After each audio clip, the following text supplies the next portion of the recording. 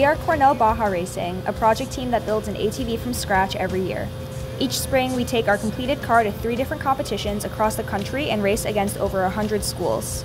To build our car, we divide our 50 members into six subteams drivetrain, suspension, frames, brakes, ergonomics, and business.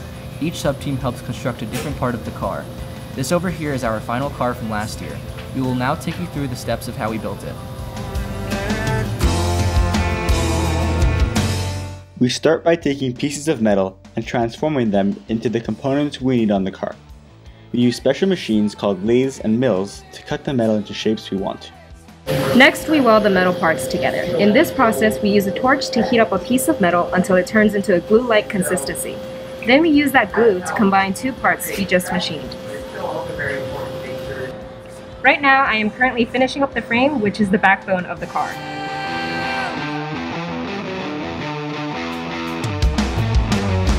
Finally, we build the non-metal parts like the seat, steering wheel, and body panels.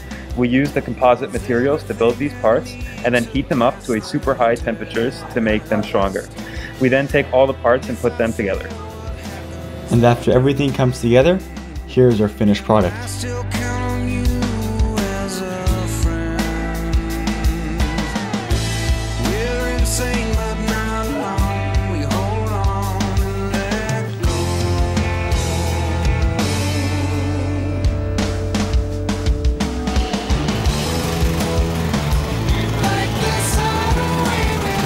We then race our car at three competitions in the spring against over 100 other colleges from around the world.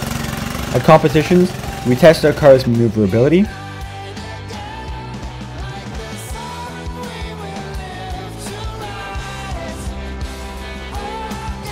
acceleration,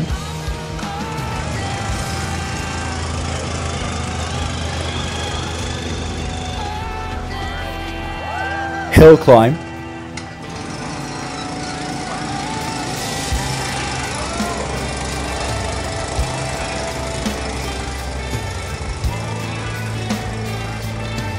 rock crawl,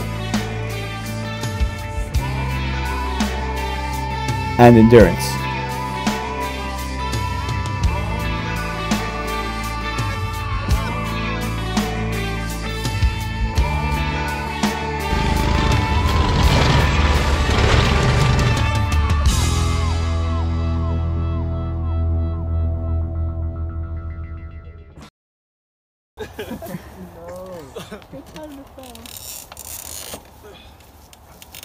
That's making top three, baby.